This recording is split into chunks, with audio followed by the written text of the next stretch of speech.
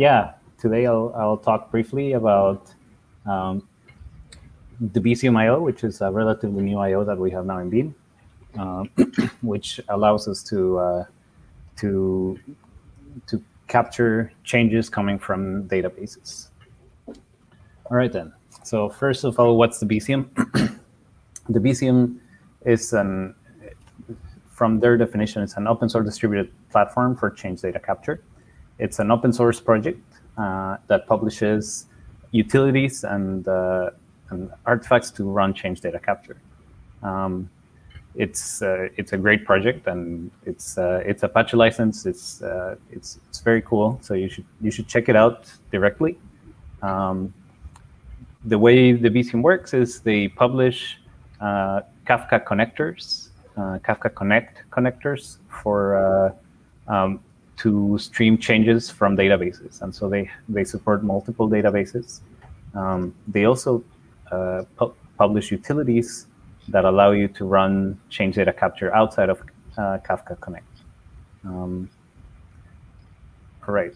Uh, now, usually the way the Debezium runs is as a Kafka connector. So um, you'll have your your Kafka Connect deployment, um, and you'll deploy the Debezium source connector there.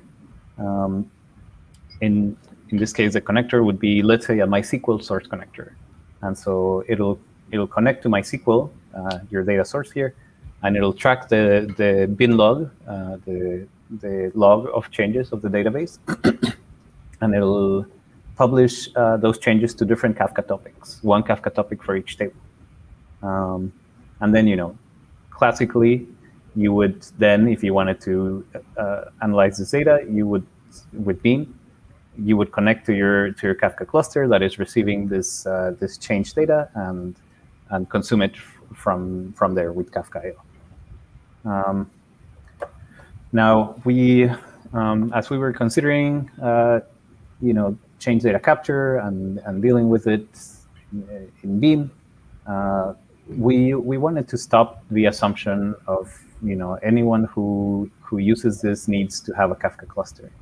Um, so last year we developed a solution to uh, where we would have a Beam pipeline on one side, and we would be able to run Debezium without a cluster. Debezium would run as a binary in uh, the um, as a container, and we we also developed it so that it could publish um, the the change data with uh, into PubSub, um, and so um, so yeah, so the Debezium connector runs as a binary. It can run on Kubernetes as a you know as a in a Kubernetes node, um, and then instead of publishing data to uh, to Kafka, it would publish it to to Cloud PubSub, and so we would also transfer the schema information through schema registry so, so we had a nice solution where your uh, your Beam pipeline could consume the data from PubSub, uh, and you didn't have to have any you know pre-existing cluster or or,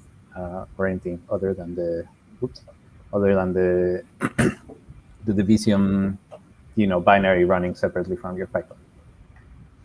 Um, and then we thought, okay, well, this still requires setting up a separate binary, making sure that it runs, uh, you know, make maybe making it run on a Kubernetes cluster. Um, so then we wonder, okay, how can we how can we simplify this deployment uh, e even further, right? and so what we thought is uh, of this the Debezium IO transform uh, or source. So we thought, okay, what about what if we could run the Debezium inside Beam? -huh. What if we could eliminate this Kafka requirement or this external binary requirement and instead run the, the Debezium code inside your Beam pipeline. Um, and so that's uh, that's what we decided to do. Here we have in this drawing we have our Beam pipeline, and you know instead of going through PubSub or any kind of message queue, the Beam pipeline directly consumes the data from MySQL or any database, uh, and the uh, and this data will be you know passed through and analyzed as part of the pipeline. Um,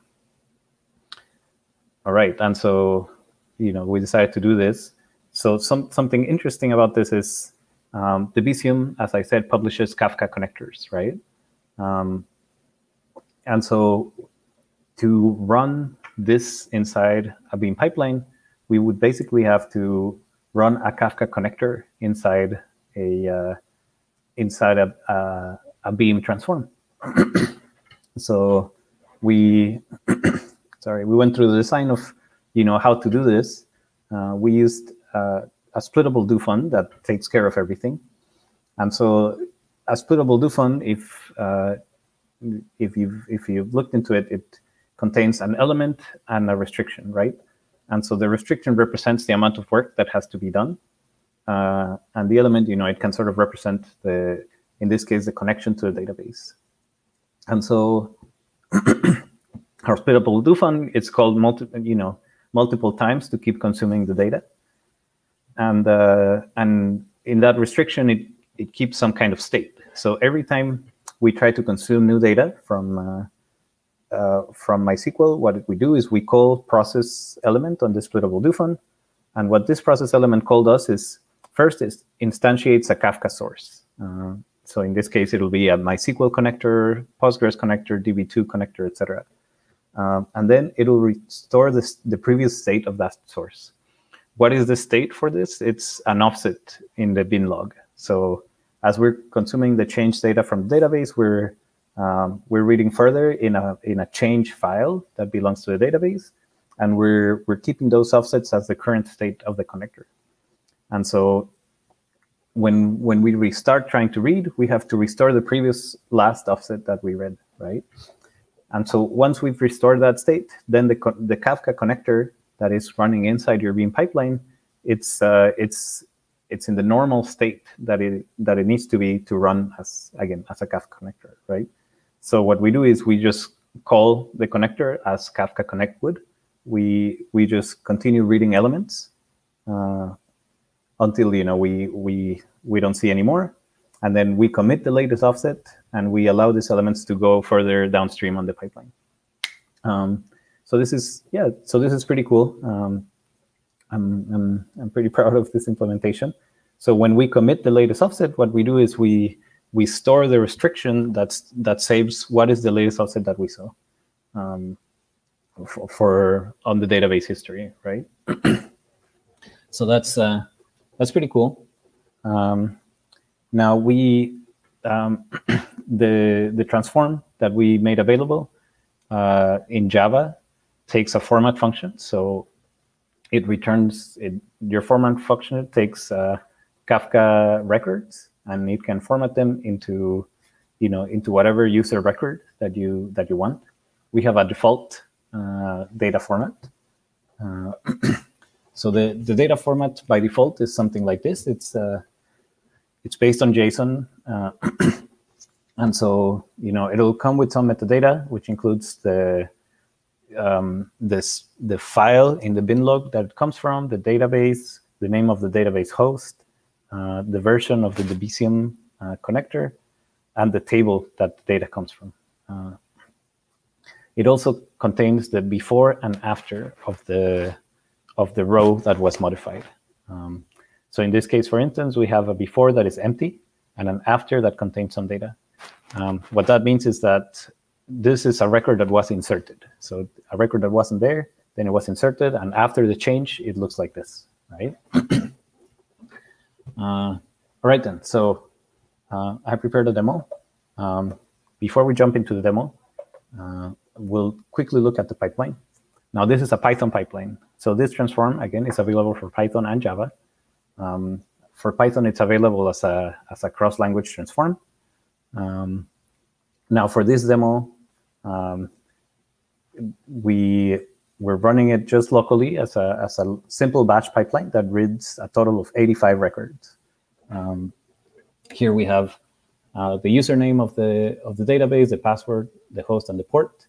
Um, so we read 85 records or change records from the database, and then you know we just filter records specifically that belong to this table, and then we just print them. So that's that's the demo.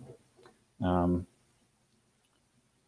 now the demo, I recorded a video uh, just just to be ultra safe, um, but I'll comment the video as uh, as it happens. Uh, this is the database, like I showed you. We read um, we read from the database. Now, something worth mentioning is we have here a we have to define which which connector we want to use. In this case, we're using MySQL connector, but again, it has we have support for uh, for Postgres, DB2, um, and others. This is the Debezium has uh, uh, we work through the Debezium, right? So whatever the Debezium supports, we support. Um, all right. Now here on this on this tab, we have our MySQL database running. It's just running in a in a container, in a Docker container running locally. Um, now on this other terminal window, we uh, we're going to see the output from our transform because remember we were printing the um, the the records, uh, and here's where we're going to run the um, the pipeline. Now, because we're running this locally, it's just running as a batch pipeline. Uh, it consumes the 85 uh, change records that we're expecting, and then it uh, um, uh, and then it it finishes right. Um, so you know we start running the pipeline. Um, now we we see that the pipeline is starting. Um, all of these logs are coming from the Debezium.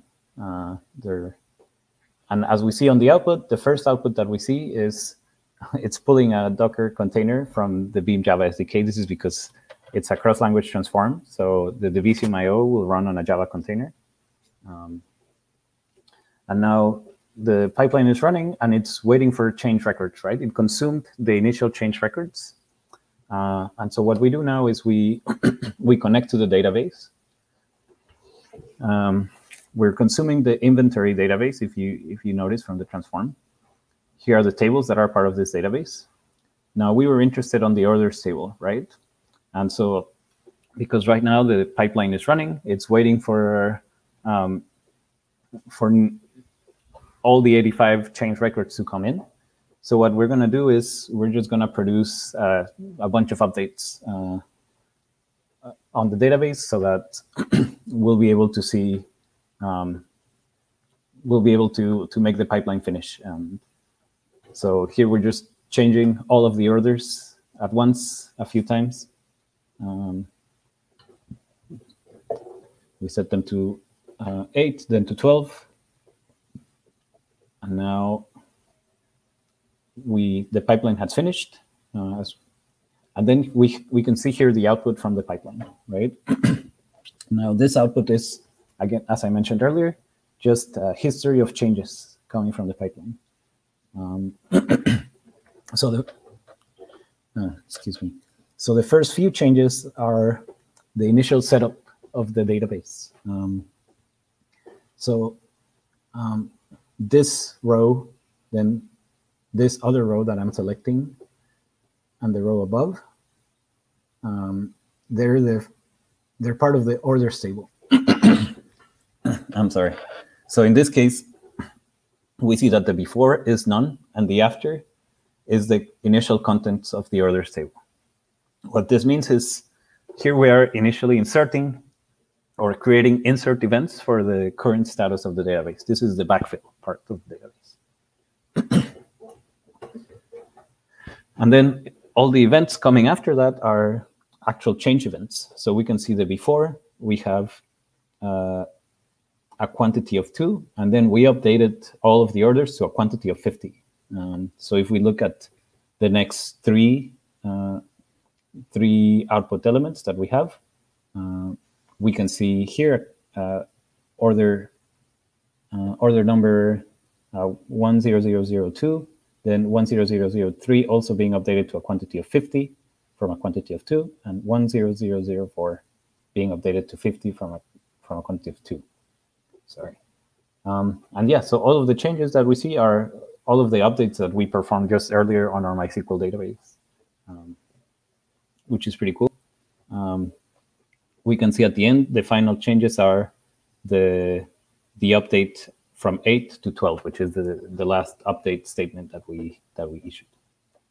Um, cool. Um, so that's it for the demo, the video demo, non-live demo.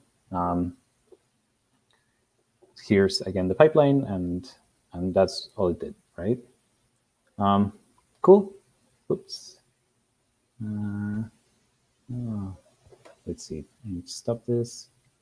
Uh, then, all right. So um, we want feedback about this transform. So what do you think of the API that we have in, in Python and Java? Um, as this transform is experimental, we're um, we're wanting feedback on the API because this is, I think this is a relatively new concept and a new transform. Um, so we want to think, okay, does this API that we have currently make sense or what are some, some improvements that we can make? So if you look at it and you think, oh, this doesn't make sense, I would like to see an API that, that behaves this way, please just let us know. Uh, uh, try out the performance. If you try out the transform, let us know what you think of the performance uh, and the behavior of the connector. Um, something that uh, happens with the connector due to the design. Let me go back to um, to the to the rough implementation of it. Um, it could be that we're instantiating too many of these Kafka sources, and we're uh, we're running too um, too many connections to the database. And so um, we we've done tests where we have this running for a while and it works fine. Uh, but you know, I I'd, I'd still appreciate uh, user feedback on this. Um, perhaps have uh, once you you're running it for for a longer time. Um, how what do you think of how we deal with pipeline updates? Uh, does it work well? Um, how how does it deal with draining the pipeline? What about if we wanted to run this as a micro batch pipeline that you know does reads updates and then it stops uh, every now and then? Uh, anyway, any of these features that you think would be interesting, please let us know. Um, what do you think of the data format? Does the data format make sense to you or does it not? Um, that will also be, be helpful for us. Um, and yeah, any any other issues, perhaps encoding of the data, dealing with multiple tables on the same PCollection, all of that. If you have any feedback, we'll appreciate it. Um, now, if you're interested in trying the transform, um, it's uh, it's part of Beam now. Uh, so in Java, you would just uh, include this dependency on on Maven uh, or Gradle, uh, which is Beam SDK's Java IO Debezium, um, and you know the the the main class, uh, the main router class is Debezium IO under under this module.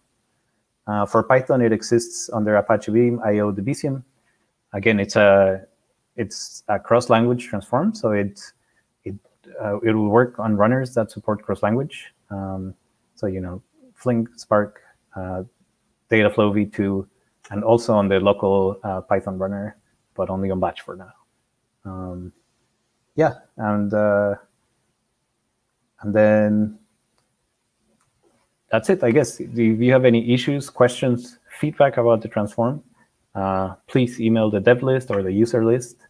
Um, now, if you, um, because this works with the Debezium, uh, as you, one of the big parts of running this transform is working out how the connector will connect to the database, right? And so, um, yeah, so you, I also recommend you check out Debezium and the community. They have a very helpful community and a, and a nice indexed uh, chat room where you can come ask questions about any connection issues that you have with your database and um, and yes, so um, yeah, that's it for me. Um, uh, I guess, uh, yeah, that's my last slide. So if anyone has any feedback or questions, uh, I'll I'll be happy